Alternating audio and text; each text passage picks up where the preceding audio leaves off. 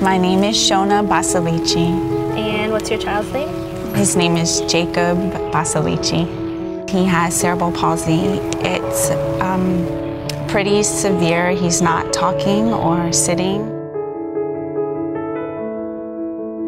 My name is Pat Murphy, and I'm the Executive Director at United Community Options. UCO serves over 1,500 adults and children each year in South Florida.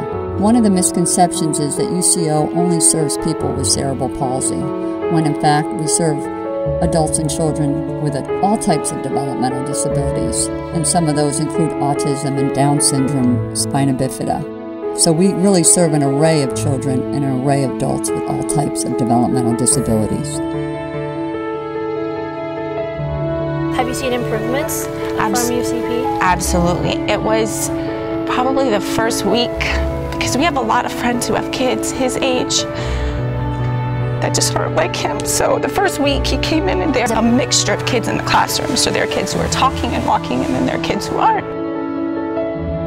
I would say uh, thank you for providing a place where kids, not only Jacob, but other kids feel safe and they can be themselves and not feel judged because they're different and it's safe, but they challenge them. I want to say thank you for just expecting more out of him than you would think he could do. Um, they're just really amazing here, and I just want to say thank you.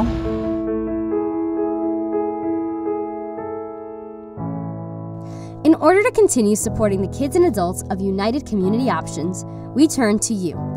In its fifth year, the special edition Optime 5K Run will bring over 2,000 runners who are committed to making a difference with each step. This year, the Optime 5K will help over 1,500 infants, children, and adults with developmental disabilities in South Florida. We invite you to come celebrate as we spread optimism on September 17, 2017. Win finisher medals, run through a spectacular bubble rain, and even get a chance to win a cruise. All to help United Community Options of South Florida. Run with your family and friends. Support the cause. Register today. Optime5krun.com.